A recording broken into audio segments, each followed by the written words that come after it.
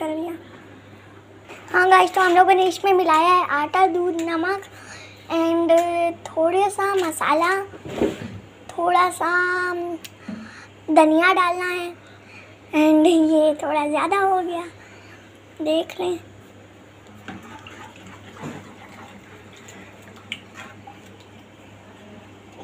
I am sorry guys masala and chilli flakes हाँ sorry हो गया।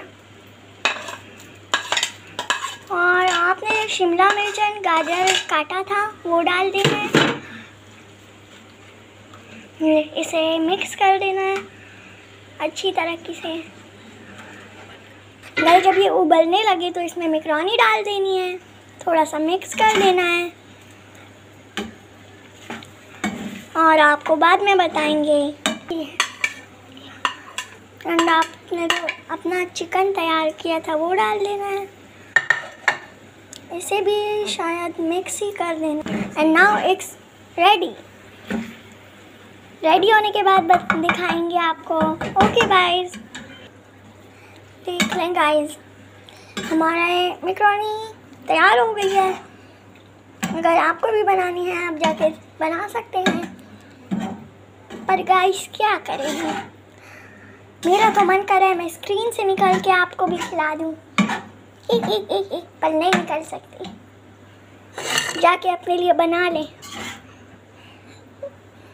हमने, हमारी मिक्रोनी तैयार है गाइस तला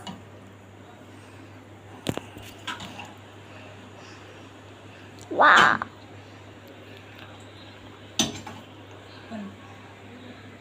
गाइस हम लोगों ने इसमें अभी सोया सॉस डालना है। थोड़ा सा डाल देना है। एंड तैयार है। एंड गाइज़ चेक करके देखते हैं।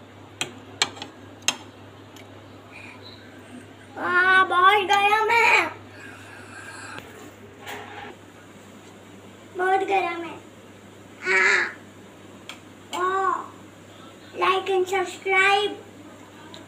Okay, bye, guys.